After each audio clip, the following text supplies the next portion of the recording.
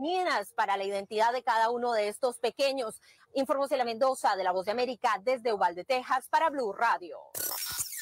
La noticia deportiva. La noticia deportiva a esta hora llega desde Francia, donde se realiza el Roland Garros. La tenista colombiana María Camila Osorio se prepara para el juego frente a la local Diane Parry por la segunda ronda de este Gran Slam. La partida será o está programada para las 12 y 15, pero puede retrasarse. Su rival venció, recordemos, en primera ronda a la vigente campeona y número 2 del planeta, la checa Bárbara Krejcikova, mientras que la cucuteña se impuso sobre la otra local Harmony Tan en dos parciales. Mañana Osorio hará su debut en la modalidad dobles femenino donde compite con la rumana Irina Camelia Begu. Las principales tendencias en redes sociales.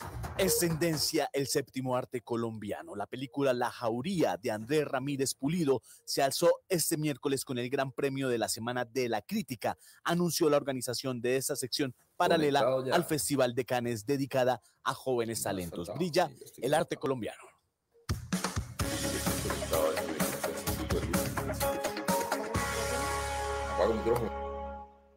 Estás a un BQ de certificarte en marketing digital, comunicación, finanzas, emprendimiento y muchos cursos más. Llegó BQ, la plataforma online para estudiar, creada por Universidad de los Andes y Caracol Televisión. Ingresa a www.bq.com.co y elige tu curso. No esperes más.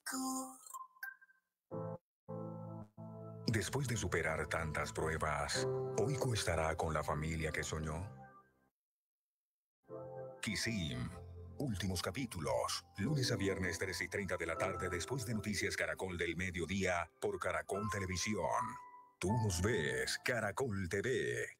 Debí abrir los ojos por primera vez. Debí ponerte en marcha y caminar. Y gracias al milagro de la vida. Celebremos que mamá te ve. Un mensaje de Caracol Televisión. Estés donde estés.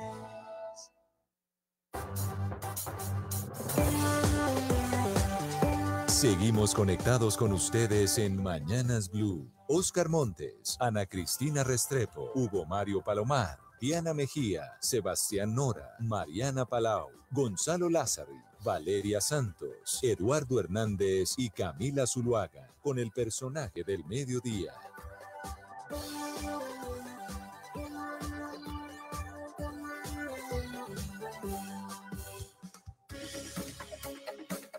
Muy buenas tardes en este ejercicio pues hemos querido seguir invitando a los candidatos a la vicepresidencia para tener un espacio de diálogo con ellos, para que ustedes también tengan la oportunidad de conocerlos.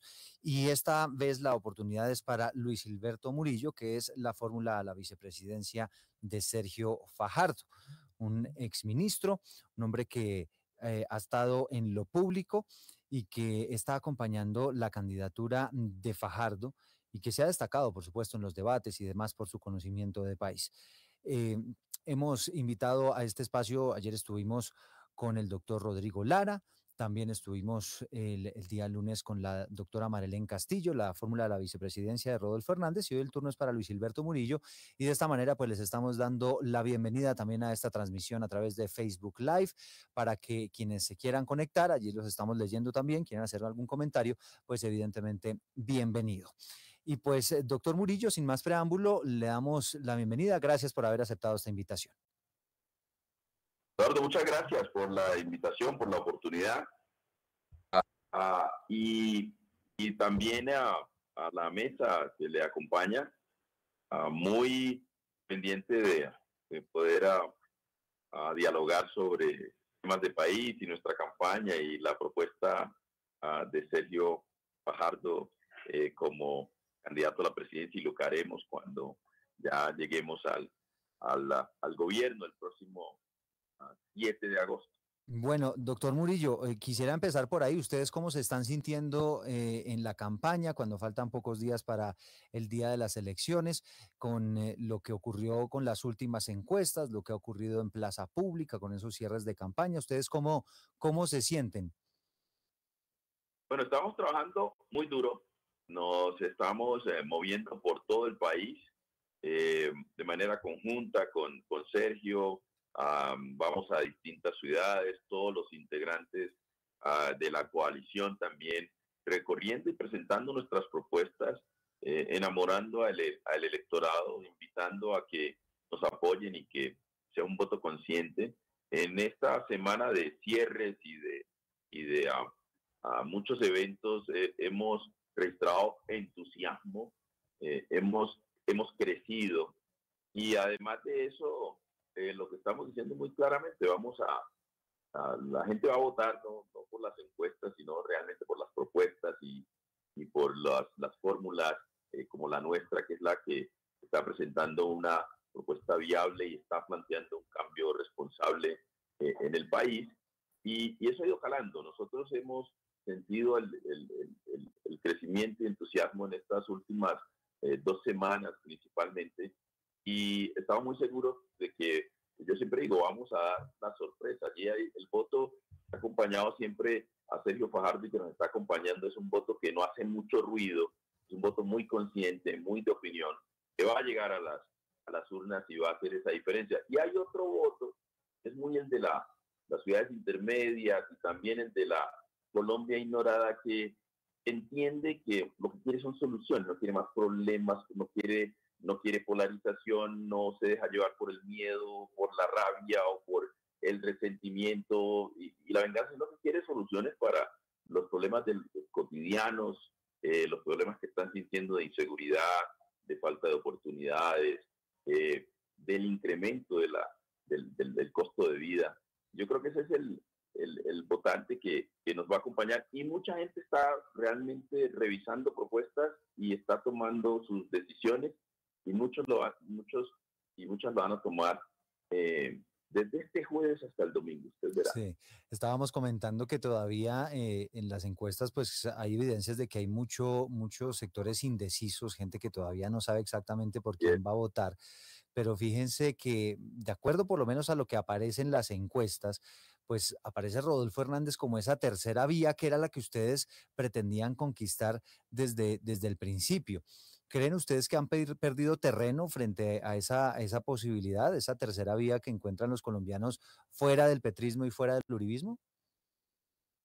No, yo creo que ah, obviamente que mucho, de mucho, mucho del electorado que nos respalda y nos va a respaldar no, no alcanza a ser eh, eh, ah, registrado, capturado en esas encuestas. Entonces no, no, no, no se refleja eh, como, como debería, por un lado. Y por otro lado, eh, muchos de los sondeos lo que muestran es que el, el, el, voto de, que le ha permitido ese crecimiento a la, a la candidatura de Rodolfo Hernández está muy asociado al, al, votante más cercano a las, a las candidaturas de derecha y menos a, al voto que nosotros buscamos, que es el voto indeciso, que se ha mantenido más en el centro del espectro ideológico. Bueno, estamos conversando este mediodía con Luis Hilberto Murillo, fórmula la vicepresidencia de Sergio Fajardo. ¿Cómo han recibido ustedes en la campaña, doctor Murillo? Pues lo último que ha ocurrido con Alejandro Gaviria, con Carlos Amaya, que no él personalmente, pero sí su gente cercana reunida con Rodolfo Hernández, Alejandro Gaviria, pues lanzando estos mensajes a la candidatura de Gustavo Petro. Y, Sergio Fajardo en el cierre de campaña diciendo, bueno, aquí están los que son, ¿no? En unos eventos en los que ninguno de los dos estuvo. Ese, ese tema, ¿cómo lo han manejado ustedes internamente y qué sienten frente a estos respaldos? ¿Sienten que los perdieron o sienten que siguen contando con ellos? No, yo estoy seguro que eh, tanto Alejandro como, eh, como Carlos eh, siguen y lo han dicho públicamente firmes en este proyecto y están respaldando la fórmula Fajardo Murillo eh, con decisión, se está moviendo por, por todo el país y yo creo que eso es lo, eso es lo que cuenta, ¿no? El, el que podamos eh, tener un buen desempeño el próximo domingo y que usted nos, nos, nos verá hoy, vamos a estar a todos en, la, en, en, un volanteo en Unicentro, ahí va a aparecer obviamente va a estar toda la, la coalición y seguiremos trabajando de manera muy, muy, muy unida hasta, hasta el próximo eh, domingo para tener ese buen desempeño. Y además, vamos ahí en ese volanteo, pero después salimos obviamente a distintas regiones del país para seguir moviendo ese voto y sobre todo ese voto indeciso que cada vez eh, ve con mucho más interés y se decide a respaldar nuestro, nuestro proyecto, porque usted ha visto el desempeño eh, tan destacado de Sergio Fajardo en los debates, la gente ve que es la propuesta más seria, es la persona más calificada para asumir la presidencia de la República en este momento histórico. Y la gente ya entiende que con nuestro programa de gobierno se va a garantizar cambio de rumbo, salir del continuismo y realmente poner al país en la senda donde, donde las familias colombianas puedan vivir en paz y tranquilidad. Doctor Murillo, pero muchas personas que hoy lamentan la posición en la que aparece Sergio Fajardo en diferentes encuestas eh, comentan, dicen que Fajardo tal vez sería un gran presidente, pero es un pésimo candidato. ¿Usted qué opina sobre eso? A mí parece que es un candidato extraordinario, excepcional, muy buen candidato. Usted lo ha visto cómo Sergio se ha movido por todo el país, yo lo he acompañado por todo el país, cómo ha presentado sus propuestas en diferentes escenarios. Eh, pero hay que tener en cuenta algo en eso, eh, eh, Eduardo, y es que a, Sergio, que es el, el, el, candidato con, con mejor imagen positiva en el país, y conscientes de eso, muchos se dedicaron fue a tratar de acabarlo en los últimos años, con estrategias decididas para poder destruirlo, utilizando mentiras, inventos, fabricando procesos, etcétera. Y todavía siguen en esa, en esa, en esa agenda. Por eso algunos plantean, plantean no, que no es buen candidato. No, es parte de eso que se han, se han inventado esa cantidad de, de, de, de, mentiras, de falsedades, para lograr o tratar de, incidir en que la opinión pública inclusive no lo, no lo vea, no, no vea nuestras propuestas. Y al contrario, lo que nosotros hemos logrado es decirle al país, mire, aquí hay una perspectiva distinta Aquí hay una perspectiva razonable. Aquí hay una perspectiva que plantea un cambio viable. Por un lado, nada, nada del continuismo, pero por otro lado, nada de crearle a la gente falsas expectativas, que es fórmula para la frustración. Yo creo que eso lo hemos logrado a pesar de todos esos, estos obstáculos que le menciono, que ha sido un ataque muy directo para evitar que nuestra eh, eh, eh, campaña avance. Y yo creo que su comentario en parte está relacionado con eso. Yo creo que estamos haciendo una excelente campaña. Eh, hay un ambiente que ha sido muy, muy eh, adverso en términos de los ataques injustos que se han recibido, pero con todo y eso, pues lo que hemos visto es que la gente cada vez eh, inclina más a apoyar nuestra, nuestra, nuestra fórmula. Y eso tiene mucho que ver con, con, lo que nosotros creemos, y es que nosotros creemos y estamos seguros de que la, esperanza opera. Es decir, aquí va a haber una sorpresa y, va, y vamos a tener un pero, sorpresa para a segunda vuelta. Sí, doctor, Murillo, pero por ejemplo, hablemos de lo que pasó esta semana. Eh, yo creo que el momento estelar del debate de nuestros colegas de semana y el tiempo fue cuando Fajardo increpa a Petro con los números, con la viabilidad fiscal de su propuesta. Fue lo más comentado al otro día en la radio, en la prensa, en las redes y mucha gente piensa que pues ustedes llegan tarde a esa manera de contundente de atacar a Petro en ideas, de atacar al otro en ideas y fueron muy mansitos en toda la campaña. Eh, no sé si esté de acuerdo conmigo eh, en lo que le estoy planteando. No, yo no creo. Yo creo que la, la campaña siempre ha sido, obviamente que esta es una campaña, usted ha visto cómo eh, Sergio y yo no, no, estamos atacando a nadie cuestiones personales. No, pero, que eso pero lo que le planteo es que el, eh, Fajardo fue respetuoso en el debate y, y con números rebatió, rebatió a su, a su oponente con, con respeto y con... Sí. Sí, una intermitencia, una intermitencia en la, en la comunicación. Ya vamos a regresar con el doctor Murillo. Pero aquí lo que, lo que queda claro, doctor Murillo, vamos a, tratar de, realizar una reconexión aquí para, para, para mejorar el sonido, para volverlo a tener con nosotros. Pero aquí lo que queda claro es que tanto Sergio Fajardo como Luis Hilberto Murillo, pues usted los escucha, ellos son todavía sumamente optimistas, ¿no? Frente a la posibilidad de tener una buena votación el próximo, el próximo domingo. Estaba usted diciendo, doctor Luis Hilberto Murillo, le preguntaba mi colega Sebastián, pues que básicamente esa contundencia rebatiendo ideas en, los debates, que fue lo que ocurrió en, e, el último de ellos, en, el tiempo y semana, ¿qué pasa? ¿Por qué no utilizaron ese lenguaje desde el principio?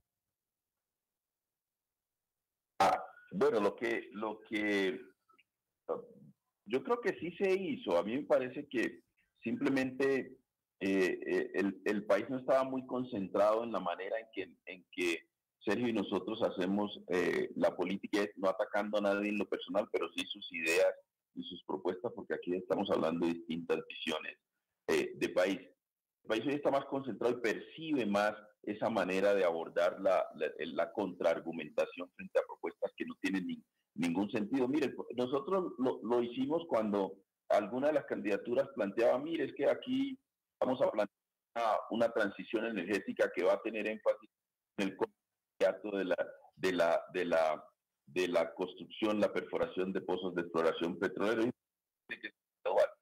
Compartimos el objetivo, pero tiene que ser puede tener en la inversión, en lo fiscal, en la, en la agenda social de, que tiene el país, pero además porque el énfasis tiene que ser obviamente la, la, lucha contra la deforestación, porque ahí tenemos el, el, el, mayor porcentaje de emisiones, casi el 60%. Eso también se dijo. Eh, pero el país estaba como muy, o no el país, las campañas estaban muy entretenidas en los ataques personales, en, en, eso de la descalificación del uno y el otro. Entonces no estaba poniendo atención, estábamos contraargumentando a propuestas que le estaban planteando al país que no son viables y que de ninguna manera se van a poder implementar. Yo creo que había mucha distracción de mucho entretenimiento, esa política del entretenimiento y del show, entonces yo ataco al uno en lo personal y al otro y qué hacen. Yo creo que eso fue lo que afectó realmente el hecho de que se pusiese atención a la manera como nosotros hacemos campaña, que es una manera seria y, y con propuestas serias. Sí, doctor Luis Gilberto Murillo, teniendo en cuenta que ustedes tienen muchas propuestas, y, y, se lo quiero preguntar ante el eventual escenario de que no lleguen a la, a la segunda vuelta, ¿no? que es un escenario que podría ocurrir. Yo sé que usted es muy optimista, eh, a pesar de las encuestas, pero, pero en un escenario en el que no logren pasar a la, a la segunda vuelta, eh, el doctor Sergio Fajardo y usted seguirían metidos en política? ¿Les gustaría participar en alguna de las, de las campañas eh, promoviendo esas propuestas? ¿Ven ustedes espacio en, en, en, quienes eventualmente pasen a la segunda vuelta para, para sumar ideas con lo que usted nos está diciendo? De nosotros, eh, la verdad, no hemos analizado ese escenario porque estamos concentrados en hacer el trabajo y pasar a, segunda vuelta. De esa manera que nosotros hacemos la política, porque de eso se trata. Nosotros aquí nos concentramos a ganar y tenemos que pasar el próximo, el próximo domingo. Y, ah, cuando a mí me preguntan, obviamente yo me veo no haciendo política porque voy a estar acompañando a Sergio como su vicepresidente y la constitución obviamente me prohíbe hacer política. Pero de eso, nosotros lo que aquí estamos en el largo plazo es para contribuirle al país con un conjunto de ideas, de ideas que muestran un camino desde la perspectiva de centro. Ahí, ahí nosotros creemos que ese es el camino que debe seguir el país. El país en su gran mayoría es un país equilibrado y decente. Lo que decimos es no podemos darnos el lujo de que el país no cuente con esa oferta, con un grupo de personas que esté planteando alternativas viables. Nosotros consideramos que las perspectivas de izquierda y las perspectivas de derecha, por, obviamente atraerán a algunos, pero esas no son las nuestras. Y el país tiene que seguir en esa El electorado tenga como escoger, tenga, tenga ah, opciones distintas a las que nos quieren hacer creer aquí de que el país, para poder avanzar, tiene que estar dividido. Es así, nosotros llamamos a la unidad. A algunos les conviene la el, el miedo o les conviene la polarización, a nosotros no. Y creemos que hay que seguir en eso, Eduardo, hacia adelante. En cualquier escenario hay que seguir planteando nuestra idea porque creemos que son las ideas que le convienen al país. Sí, y, y le quería preguntar, eh, por ejemplo, hubo acercamientos con la campaña de Rodolfo Hernández, entonces uno podría intuir pues que en esas dos campañas podría haber coincidencias, ¿no? ¿Qué coincidencias encuentra usted entre la propuesta, la, propuesta que ustedes hacen y la propuesta de, Rodolfo Hernández? Yo creo que la, la propuesta nuestra y, el programa que está planteando la fórmula Fajardo Murillo tiene coincidencias con algunas campañas. En el caso eh, que hace Rodolfo Hernández, Sergio lo ha dicho muy claramente de, ah, en sus reuniones cuando sostuvo en el pasado eh, eh, con Rodolfo, que los tienen una amistad de hace, de hace años, se lleva muy bien, pero además de eso, coinciden en algo, en dos temas que son centrales. El tema de educación y la importancia de la educación como eje central, ciencia y tecnología como eje central del desarrollo. Y el segundo es la lucha frontal contra la corrupción. Y tener un, un gobierno que sea transparente, pero también que sea facilitador. Ahí hay unos elementos de coincidencia con, con esa campaña, pero eso no, no implica de que aquí se está hablando de acuerdos o se está hablando de poder sumarse a una campaña como esa o de tener acercamientos programáticos. No, aquí nosotros hemos dicho con mucha firmeza que vamos hasta el final, que vamos a trabajar puramente para tener un buen resultado el próximo domingo y pasar a segunda vuelta. Pero si hay esos elementos de, obviamente, de coincidencia que lo ha mencionado Sergio en repetidas ocasiones. Sí, y, y nos decía usted coincidencias con varios candidatos, con Rodolfo Hernández y con quién más. No, lo que yo, lo que, cuando usted tiene una propuesta de centro, en algunos elementos obviamente ah, pueden existir coincidencias. Yo no he revisado las otras, pero sí tengo claro, y Sergio lo ha planteado, esas coincidencias con, con lo, lo, que plantea el, el, el, uh, el candidato Hernández. Con, con, Hernández, y, pero con algún otro que se, le, que se le ocurra a usted algunas propuestas que usted diga, hombre, sí, esto es, es lo que necesita el país. La verdad es que cuando las vemos, vemos en conjunto, usted, es decir, nuestras propuestas ah, se, se articulan una con otra, es decir, nosotros articulamos educación, ciencia y tecnología con la generación de oportunidades y eso va a la generación de oportunidades de empleo y de emprendimiento. Y eso lo articulamos necesariamente con la lucha, la lucha anticorrupción, eso lo articulamos con la transparencia del gobierno. Eh, cuando, si usted lo ve aislado puede encontrar, encontrar puntos de conexión, pero eh, para, para mencionar uno, casi todas las, las campañas coinciden en que hay que avanzar en una agenda ambiental y que hay que llegar a cumplir el compromiso de tener cerca del 30% del país, obviamente en áreas protegidas. Hay una coincidencia. ¿Cómo lo va a hacer? El paso sí. a paso, ahí hacemos la diferencia. Porque lo hemos hecho, porque lo sabemos hacer, convierte nada más en meros deseos y, y retórica. Así es. Doctor Murillo, pero mire, eh, yo le quiero preguntar también por el comportamiento eh, que, que, ha tenido ese votante, ese elector del centro. Porque cuando comenzó la campaña siempre hubo coincidencias en las encuestas y en los diferentes estudios en que el centro era el, el que iba a terminar definiendo la presidencia de la República y que de hecho ese candidato del centro, ante una campaña tan polarizada entre el petrismo y el uribismo, entre la izquierda y la derecha, el centro iba a tomar mucha fuerza, pero pasó en el transcurso de la campaña, el centro se fue dibujando, entre otras cosas, pues las peleas internas y demás. Pero cree usted, doctor Murillo, eh, y lo digo con, con, sentido crítico o de autocrítica de parte de la campaña, que se cometieron errores? Dígame usted si sí o si no. Por ejemplo, el haber designado al que se conoció en su momento como un gerente, el gerente antifico, una persona que estaba, que era, entiendo que era el, hoy en día senador Ávila, eh, de, dedicado a buscarle eh, la, la, parte sucia a la campaña de Fico, de Fico Gutiérrez, cuando de lo que se trataba era que el centro convocara y no polarizara más. ¿Usted no cree que eso fue un error de pronto de parte de la campaña de ustedes?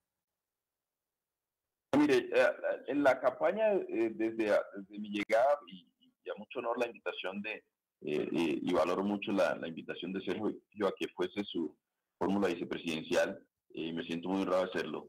Eh, las decisiones que se han tomado son decisiones muy, muy acertadas. Lo que, vuelvo e insisto, se presentó un esfuerzo eh, sistemático de acabarnos, de borrarnos del escenario, de que el país se polarizara simplemente en dos, dos, dos, dos, dos campañas eh, que llamaban pero, a la doctor Murillo, no, pero le pregunto, le pregunto, doctor Murillo, porque de pronto eh, cayeron en la tentación ustedes en la campaña, después de vivir la crisis interna de la pelea de Alejandro Gaviria con Giri Betancur y demás, cayeron en la tentación de polarizar también la campaña al designar personas, por ejemplo, como este señor, el senador Ávila, con el propósito de atacar a otro de los, de, de los, de los de contradictores, de los adversarios políticos.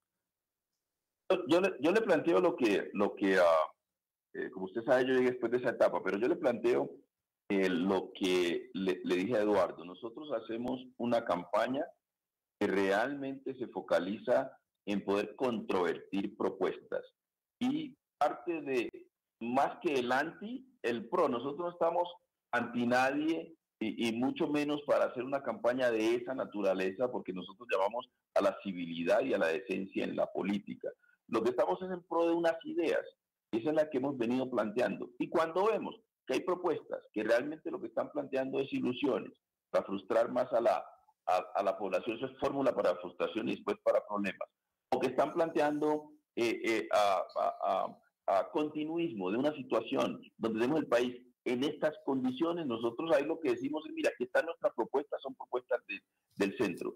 Focalizar una campaña en, en, en, en, decir que esto es una campaña anti-X o Y persona, pues eso no va ni siquiera en, la, nuestra, en nuestras maneras de hacer la política, en nuestras formas de hacer la política. Nosotros nos concentramos en promocionar nuestras propuestas y es lo que hemos venido haciendo y lo que hemos intensificado y nos ponen mayor atención. Las campañas cometen errores, obviamente, y llegará la, el, el, el, el periodo para metido no Doctor Murillo, pero uno, uno entiende que ustedes se, se, concentran pues en difundir las ideas de ustedes, pero hay algo que parece que es inevitable hoy en día y es la desinformación. Precisamente los colegas de la silla vacía hablaban de una campaña sucia contra el, la campaña de ustedes y contra la de Gustavo Petro, en la cual habían invertido 309 millones de pesos en Facebook para dañar la imagen eh, de Petro y de Fajardo. Yo le quiero preguntar a usted, doctor Murillo, ¿qué tanto daño le han hecho esas campañas de desinformación no solamente la que le menciono, sino las otras campañas de desinformación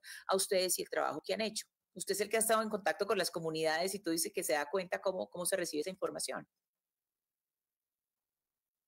Obviamente que eso, eso genera mucha incertidumbre, hace daño porque uh, en, esta, en esta política del show, del entretenimiento, en la era de la posverdad, la gente dice esa cantidad de mentiras y después a aclararlas o cuando se establece que, es verdad, pues hay mucho daño hecho. Yo creo que eso hace parte eh, de, las, de los obstáculos que hemos ido superando en esta última etapa de la campaña que realmente duele mucho en, un país como este que se dediquen a invertir en dañar la imagen y la reputación de personas que lo único que han hecho es de manera eh, eh, muy convincente, basado en sus valores, con mucho compromiso, con coherencia en su vida pública, contribuirle al país eso no le ayuda a nadie que estén destruyendo el liderazgo de este país, inventan cualquier cosa para hacerlo. Yo creo que tenemos que abandonar ese tipo uh, uh, de, de, herramientas en la política. Y lo digo porque uh, eh, las personas que estamos as, aspirando a este tipo de cargos de mayor representación, autoridad y dignidad en el país, tenemos que ser referentes y dar ejemplo. Y ese ejemplo implica, vuelvo, insisto, la civilidad en la, en la política y no esta campaña sucia. Y ahí también hago un llamado a, a, a, a la opinión pública y a los, y a, los medios de comunicación que no evitemos caer en esta en este, en este, en este flujo de, de ataque que no tiene ningún sentido. Aquí hay que concentrarse en la propuesta, pero vale resaltar en esta última etapa de la campaña, y ustedes lo han visto en los debates y en las conversaciones que tenemos eh, con ustedes también, el nivel de la campaña se ha elevado, se están dando diálogos muy, muy amenos, muy calmados. En el caso de los de las candidaturas a la vicepresidencia, eso inició antes, ustedes vieron que en nuestros debates muchas diferencias en las propuestas, distintas uh, visiones de país, pero siempre tratamos de tener mucha civilidad y muy buena comunicación y cordialidad en, en términos personales. Yo creo que ese es el mensaje que hay que mandarle a, al país, porque el, el reto que tenemos es evitar que el país se polarice, profundice en las divisiones, el resentimiento, que no nos lleva a nada. Ningún país ha salido adelante con semejantes niveles de polarización y con semejantes niveles de, de, de, visceralidad en la política y en la relación social y pública. Mm. Oye, bueno, estamos conversando a esta hora del mediodía con Luis Gilberto Murillo, la fórmula de la vicepresidencia del doctor Sergio Fajardo, un poco conociendo sus propuestas, respondiendo acerca de las polémicas, las movidas políticas de, de los últimos días. Nos escribe eh, a través de nuestra transmisión, doctor Murillo, un hombre que se llama Jefferson Jair Mosquera. Es un hombre que nos escribe desde el Chocó y nos dice, ¿por qué el doctor Murillo no vino a hacer campaña aquí al Chocó, que si es su tierra? Eso no sé si es cierto, él, lo está, él está formulando la, la, pregunta.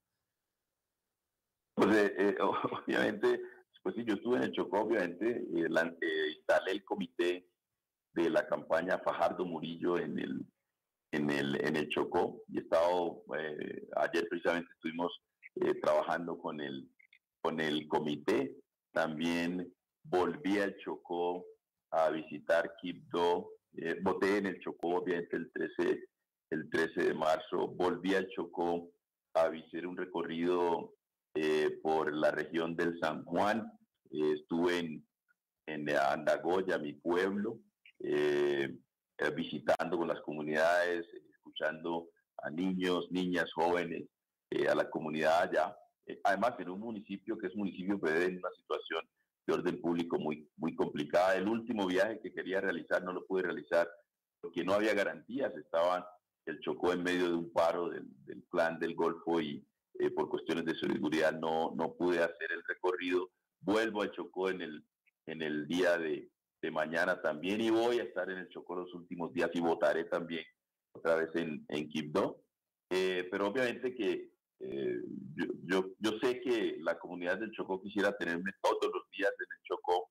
Aquí se trata de un proyecto de carácter nacional y tengo que recorrer todo el país. Estamos recorriendo eh, eh, tres, a veces cuatro ciudades en el día, planteando nuestras propuestas y pues de eso se trata, ¿no? Y yo espero la, la comprensión de mi gente, que obviamente siempre son el centro de, de mi quehacer no, yo le estaba formulando la pregunta porque efectivamente la estaba haciendo este, este, eh, esta persona, pues Jefferson Jair Mosquera, que nos está diciendo que porque no había hecho eh, campaña en el Chocó, pero bueno, usted ya está ahí aclarando, aclarando la situación. Pero fíjese que ahora mientras usted respondía, eh, haciendo un poco de memoria, doctor Murillo, efectivamente pocos candidatos pasaron por allá por el Chocó. Usted que se conoce esa tierra, no sé si, si, tenga, si tenga referencias de, de, de otros candidatos, inclusive haciendo campaña allá en el Chocó. Yo, yo creo que lo, lo que ha, no, no como se debería, pero lo que ha sucedido realmente es la falta de garantías eh, en, en, en, muchos casos, porque la, la, situación de seguridad en Quibdó y en el resto del departamento ha sido muy adversa. Ese es uno de los ejemplos del desastre de la seguridad en, en, el país. Es decir, y usted recordará, y todavía sigue el Chocó en esa situación donde se da el asesinato de jóvenes, eh, mujeres y hombres en el Chocó. Eh, la, última visita que hice al Chocó en esas dos semanas, habían asesinado nueve jóvenes ah, que, que no, no tienen otra salida, sino que se niegan a ser reclutados por grupos al margen de la ley o a entrar en redes criminales y terminan siendo asesinados sin ninguna oportunidad. El país no se puede dar ese lujo. Y en conversaciones con, con personas de la comunidad, en el caso de Quibdó, me decían, mire, estamos secuestrados en nuestras propias casas porque ya no podemos salir ni siquiera después de las seis de la tarde. Ese es el abandono en que tiene el gobierno a las regiones y sobre todo a regiones como el departamento ah, eh, eh, del Chocó. Y eso es lo que no gobierno porque hace el gobierno el poder de las regiones. Y lo que estamos diciendo en este sentido es que eso, eso impacta las garantías de la, de, para poder hacer el proselitismo cada uno de los candidatos y candidatas, pero aún más las garantías para que las personas en el Chocó, votantes en el Chocó, puedan salir a votar tranquilamente el próximo domingo. Ahí hay una gran preocupación. Sí, aquí nos está diciendo Lucila Gómez. La gente está participando, escribiendo muchísimo ahí. Nuestra transmisión nos dice que Francia Márquez sí estuvo en el Chocó. Pero, pero lo que usted dice tiene razón, son unas condiciones complejas en materia de seguridad. Hace cuatro años, doctor Murillo, la situación en cuanto a la campaña presidencial estaba así de compleja en el, en el Chocó. Esto definitivamente se ha empeorado. No, fueron las, las, las elecciones más tranquilas. Ah, yo fui delegado del presidente en el Chocó y también en el Valle del Cauca y tuvimos las elecciones más tranquilas en muchos años. Esto es totalmente distinto a lo que se vivió en las elecciones presidenciales. Muchos han escrito estos días sobre eso, porque se ha descuidado la seguridad del gobierno. La seguridad terminó siendo el gobierno de la inseguridad. Entonces está, las regiones están a su suerte. Tienen inseguridad en Cali, inseguridad en todo el Pacífico, inseguridad en el Urabá, en Antioquia, inseguridad en el Chocó, inseguridad en Cartagena. En Cartagena, que acaba de venir de los barrios populares de Cartagena, se encuentra que en Cartagena ha aparecido el sicariato que no se ha presentado en esa ciudad. Entonces usted encuentra a lo largo y ancho del país una situación de inseguridad en el campo, inseguridad en zonas rurales, inseguridad en la Colombia profunda, pero también inseguridad en las zonas urbanas. Y eso no puede seguir. Nosotros estamos planteando precisamente reformar todo lo que tiene que ver con seguridad, implementar el acuerdo de paz de manera decidida, implementar el acuerdo de paz con sentido de urgencia, porque la paz y la seguridad están, están relacionadas, pero también en zonas urbanas poder responder con centros de atención integral en temas, en temas de seguridad. Y estamos planteando la creación del Ministerio de la, de la Seguridad y la Convivencia Ciudadana, porque hay que reestructurar el sector de la seguridad que está muy suelto. La policía debe pasar a ese ministerio, va a pasar en el gobierno Fajardo Murillo a ese ministerio. Y allí vamos a tener una, una policía con vocación civil se concentre en la protección de la población civil, que se concentre realmente en una buena relación con la comunidad, que mejore la confianza con la, con, con la, con la comunidad. Y allá pasará también, hay que reformar el ESMAD y allá pasará también el IMPEC, garantizándole los derechos laborales a, los, a, la gente, pero hay que reformarlo. Y nosotros estamos planteando que sin, sin esas medidas va a, ser, va a ser muy difícil que realmente mejoremos la seguridad. Y eso es lo que estamos planteando desde la fórmula Fajardo Murillo, que es una, es una propuesta viable, que no tiene, eh, con los recursos que, que, se tienen hoy, es una reestructuración que, que tiene un impacto fiscal cero y que permite realmente que nosotros tomemos la seguridad realmente bajo control, que hoy no lo está. Sí, señor Murillo, lo cierto es que en este momento, pues ya faltando unos días para la elección, sí hay una campaña muy activa en donde pues desde, diferentes sectores están llamando a los votantes eh, por Fajardo a no votar el voto. Básicamente dicen, usted no vote el voto, denos el voto a nosotros, eh, el candidato Fajardo no tiene opciones. ¿Qué le dice usted en este momento a las personas que piensan que votar por ustedes es votar el voto? Pues mire que, hay que las elecciones no han pasado y hay que votar realmente pensando en el país. El voto tiene que ser a conciencia, un voto estudiado, analizado. Eso es lo que le pedimos al electorado. Que mire programas, que mire las propuestas, la viabilidad de esas propuestas, las fórmulas, la posibilidad realmente, la, la, la, la capacidad que tienen las herramientas para implementar esas propuestas. Y que realmente Después, a conciencia, vayan y voten. Ejerzan ese derecho ciudadano. Así no voten por nosotros, pero deben votar. Pero estamos seguros que si el voto es a conciencia, será a nuestro favor. Eso es lo que va a inclinar la balanza. Aquí no se trata de una carrera de caballos, entonces quién va primero en las encuestas, no. Se trata de pensar en el país. Y a eso estamos llevando. Este es un momento muy importante para el país. Queremos que el país vuelva a la tranquilidad, que el país salga de la polarización, que el país realmente pueda construir unidad. La fórmula nuestra, Fajardo Murillo tiene el talante para construir unidad. Los desafíos que tiene el país son inmensos y muchos desafíos son globales. Muchos son globales. Cambio climático, todo lo que se viene de una posible recesión global, todo lo que tenemos precisamente en inflación que tiene que responder desde una perspectiva global. Aquí tenemos desafíos para poder tener un país más incluyente, para poder superar el, conflicto y la inseguridad que tenemos en las regiones. Eso no, eso no se resuelve con un país dividido, un país que polariza, o un país que parte de, cree que el cambio es la demolición y que vamos a reconstruir todo. No, aquí hay que partir también de lo que se ha avanzado y lo que se ha construido. Y a eso es que llamamos a los votantes para que realmente apoyen nuestra, nuestra propuesta y con ese voto a conciencia nosotros tenemos la firme esperanza de que daremos la sorpresa y pasaremos a segunda vuelta. A propósito de eso que menciona doctor Murillo, de, no entrar a demoler, ¿no? De, entrar a barajar de nuevo, ¿qué política del presidente Duque considera que merece tener continuidad, por ejemplo?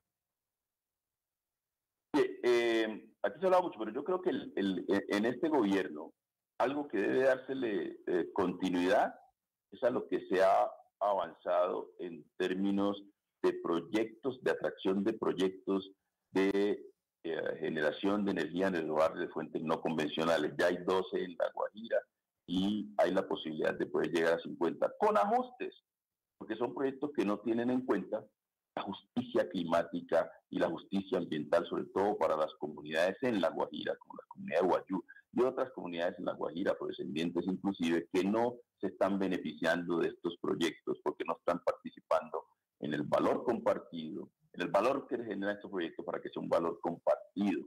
Y ahí presentaríamos a usted. Pero yo creo que esa es una política merece continuidad. La otra que merece continuidad y hay que profundizarla es la de migración. Yo creo que ahí se ha creado un marco y que, y que muchas vienen del gobierno de la paz, el gobierno anterior a este. Mire, eh, la política de, de, de, de migrantes sobre todo relacionado con, la población venezolana, debe tener algunos ajustes, pero es una política que va por el camino eh, correcto y esa política que complementarla con nuevos migrantes. Colombia es un país puente y nos van a seguir llegando migrantes. Están llegando muchos de Haití, muchos de Cuba, algunos de África Occidental. El país tiene que prepararse para ese desafío y pedir apoyo de la cooperación internacional porque nos han dejado solos. Entonces, nosotros lo hacemos con mucha tranquilidad de reconocer las dos o tres cosas que eh, eh, el país está, está haciendo bien, pero el resto son realmente un desastre. Sí, señor Murillo, pero a ver, eh, si bien la, la, figura de la vicepresidencia es un poco etérea, cuando llegan los vicepresidentes a gobernar, pues piden, digamos, encargarse de ciertas carteras, tener ciertas banderas, adelantar ciertos propósitos. ¿Cuáles serían esos propósitos esas banderas que usted, perdón, quisiera liderar una vez, eh, pues, llegase a la presidencia? Ah, ah, mire, Valeria, en eso, eh, con serio, lo que, hemos, acordado es, inclusive desde la campaña, primero, que yo no voy a ser un presidente ahí pintado en la pared, sino empoderado. Además, por mi naturaleza, no lo voy a hacer. Entonces voy a ser un, presidente, un vicepresidente empoderado. Y además de eso, lo que hemos acordado con SEC es que me voy a encargar de tres temas principales. Un primer tema, poder apoyarle para que Colombia sea una potencia ambiental, una potencia climática, una potencia de la bioeconomía. Lo segundo, empoderar a las regiones. Este sea realmente el gobierno, el poder de las regiones definir los clústeres de desarrollo de esas regiones, que las regiones, sobre todo la Colombia profunda, tengan voz. que las prioridades de estas regiones sean las prioridades del gobierno nacional y traer mucha gente a las regiones. Hay una cantidad de gente en las regiones que está haciendo transformaciones, que ya se preparó, que ya, que ya pueden venir al gobierno nacional y trazar línea nacional con conocimiento de causa del territorio. Esa gente tiene que llegar al gobierno nacional. El gobierno nacional tiene que darle más oportunidad a la gente de las provincias y las regiones en cargos importantes. Eh, y, en tercer lugar, la inclusión. Todo lo relacionado con, y, hay una propuesta muy importante de empoderamiento de las mujeres de manera transversal, con gobiernos paritarios, pero también con la creación del Ministerio de las Mujeres, que Sergio ya lo hizo en Medellín con el Ministerio de la Mujer, lo hizo en, la, en la gobernación de Antioquia, este sería un ejercicio supremamente importante, pero también grupos étnicos pueden los negros afrodescendientes, raizales y palenqueros, los para la alta montaña, los pueblos cienagueros, comunidades pescadoras. Hay, que garantizar eh, eh, los, las poblaciones de discapacidad, la población LGBTI, que es, es, la nueva frontera de los derechos civiles, como lo plantea Obama. Entonces ahí es todo un tema de inclusión, salir al, extranjero, salir al contexto internacional, aprovechando las conexiones que tengo, a promocionar esta nueva Colombia mm. desde, desde, desde lo ambiental y desde las regiones. Me quedan tres minuticos, eh, doctor Murillo, y quisiera pues hacerle unas preguntas muy rápidas como para conocer a profundidad las ideas suyas, las de, las de la campaña de Sergio Fajardo. ¿Desmontan el SMAD? ¿Sí o no? Eh, reforma. Reforma. No, no lo desmontan no lo desmontas, lo reforma. Eh, ¿Apoyarían la legalización de las drogas? Eh, regulación. ¿Política frente al aborto? Eh, nosotros obviamente apoyamos lo decidido por la Corte Constitucional, lo acogemos y lo, pero lo vamos a implementar. ¿Política frente a la eutanasia? también nosotros, nosotros creemos que es es, es un derecho, ese, ese eh, tiene que ver con la dignidad de las personas. Mm, bueno, y eh, Sebastián Nora le va a hacer unas preguntas, le va a mencionar unos nombres para que usted solamente con una palabra, máximo dos adjetivos, ojalá, pues nos pueda contestar qué piensa de esas personas, ¿le parece? sí, doctor Murillo, tiene que tener agilidad mental rápido y para que no me haga trampa, porque acá han pasado algunos, algunos invitados que nos hacen trampa, tienen que ser adjetivos. A ver. Adjetivos, ¿listo? Ah, listo, ahí vamos. Gustavo Petro. persistente. Catherine Jubinao. Eh, no, la, no la ubico bien, pero me imagino que es muy... Uh,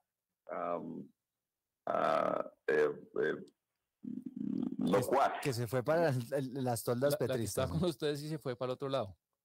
¿Quién más? Lo cual. Álvaro Uribe. Ah, ah, con, muy controversial. Fico Gutiérrez. ambicioso, creo. Rodolfo Hernández. Ah, difícil. y, la última, doctor Murillo, Francia Márquez. Ah, destacada. Bueno, pues ahí está. Muchísimas gracias, doctor Luis Gilberto Murillo, por haber aceptado. con Catherine. Sí, sí, sí, sí. Lo, veía como buscando, buscando los papeles. Bueno, doctor Murillo, le agradecemos enormemente este, este contacto. Luis Gilberto Murillo fórmula la vicepresidencia de Sergio Fajardo y muchísimos éxitos este fin de semana. Gracias, que esté muy bien. Bueno, pues ahí está el diálogo que tenemos hoy con Luis Gilberto Murillo, fórmula la vicepresidencia de Sergio Fajardo, haciendo este ejercicio al final democrático para que ustedes, los ciudadanos, tengan la oportunidad de conocerlos a profundidad y aquellas personas que no hayan decidido, pues tengan esa posibilidad de conocerlos y, y eventualmente decidir su voto. Una en punto de la tarde, ya viene Meridiano Blue.